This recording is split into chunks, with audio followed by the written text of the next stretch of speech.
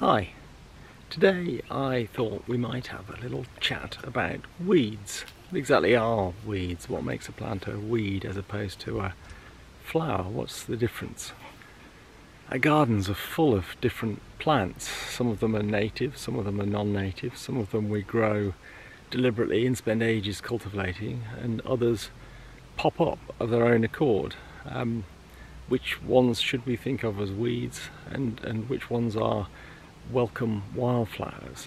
Why do we spend so long, so many countless hours weeding to get rid of certain plants and, and hours and hours and hours encouraging other plants? What is it about the ones we like and the ones we don't like? So uh, let's have a few examples.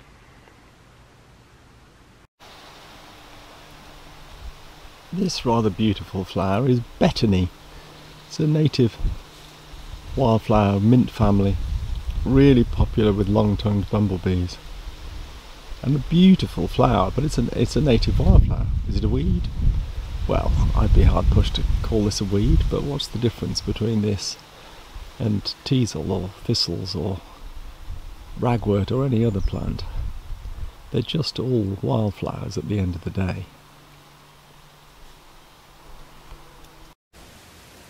Some people might consider this a weed. Teasel. I think it's gorgeous. It's a glorious plant. It's enormous. Um, these self-seeded in my flower bed and I left them.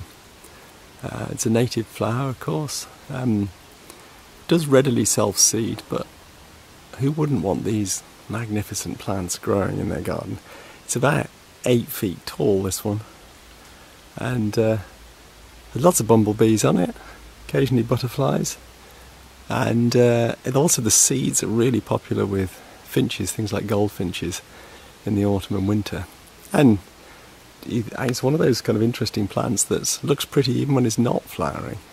Just this kind of striking structural uh, uh, inflorescence is amazing. Hogweed.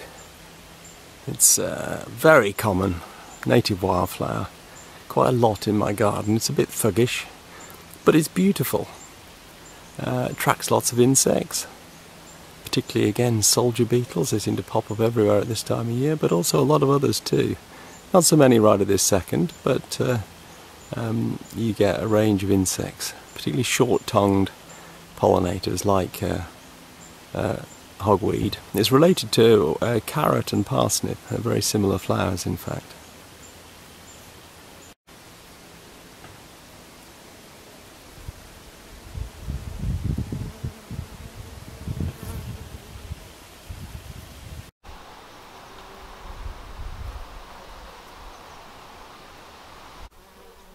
This is creeping thistle, uh, one of three or four thistle species I've got in my garden. This is probably the most thuggish. It spreads by underground rhizomes and pops up over and over again. So it can take over. I wouldn't plant it in your garden unless you've got a corner that it can't escape from very easily. But it's really popular with insects and this one in front of me, there's quite a few honeybees I just saw a, a nomad cuckoo bee on here a second ago. Uh, you often get butterflies on on creeping thistle. Quite an attractive little yeah, flower as well. But yeah, it definitely falls on the the weed end of the spectrum. This of course is ragwort, widely regarded as a noxious weed and uh, often persecuted. We're told we shouldn't allow any to to grow even in our gardens because it's terrible stuff. It it uh, kills horses, and there've been some wild claims that it kills thousands of horses a year. Of course, it is poisonous, but those claims are wildly exaggerated. As far as I can tell, it kills a very, very small number of horses a year, one or two perhaps, and only if it's um, cut, dried and made into hay, then horses will eat it and if the hay has a high component of ragwort it can kill them. But you're an absolute fool if you if you make hay from ragwort.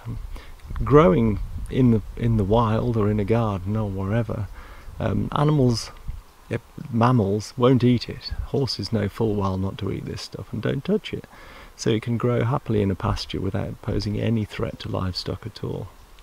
And it's a native flower. It's beautiful, and it's food to a lot of insects. Of course, famously cinnabar moths, the yellow and black stripy caterpillars. They're very common in my garden. There's none on this plant, but I'll show you some in a bit. Uh, and um, lots and lots of nectar feeding insects. Love ragwort. You get butterflies.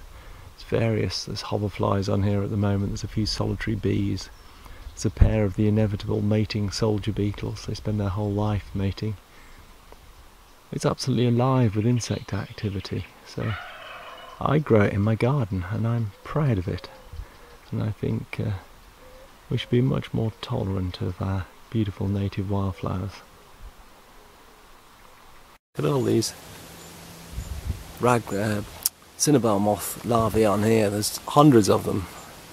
Um, brightly coloured to warn that they're poisonous. They accumulate the poisons from the ragwort itself in their bodies. And uh, so they're toxic to predatory birds. There's a soldier beetles buzzing around. One nearly landed on the lens. Uh, lots of them here.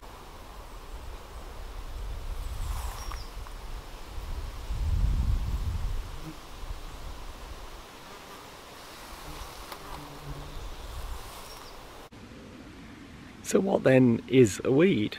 Um, there's no there's no right answer to that. It's whatever you decide it is. Um, one man's weed is another man's wildflower or woman's. Um, you know, so for example, a poppy or poppies growing in a cereal field, the farmer would probably consider them a weed. That's not what he's trying to grow, and it wouldn't be helping his crop. Um, but if a poppy were to spring up in your garden, you might uh, think, well, that's very beautiful, I'm, uh, that's a wildflower. Uh, or you might spend ages cultivating poppies to grow in your garden. It just kind of depends on your point of view. Or put it another way, um, you can get rid of all the weeds in your garden just like that by just calling them all wildflowers. Or at the very least, we should all learn to be a little bit more tolerant of, of our native wildflowers, many of which have a really important ecological role supporting uh, insect life. Thank you. If you'd like to know more about bumblebees and other pollinators and the wonderful world of insects in general, uh, or about how to uh, make your garden more wildlife friendly, then you might enjoy one of my books available at all the usual places. Thank you.